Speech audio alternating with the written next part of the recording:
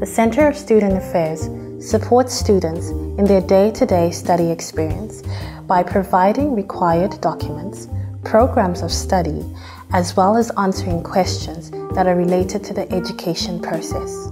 You can also ask for guidance in the legalization of the stay process and also find help in finding accommodation as well as obtaining medical insurance in Poland.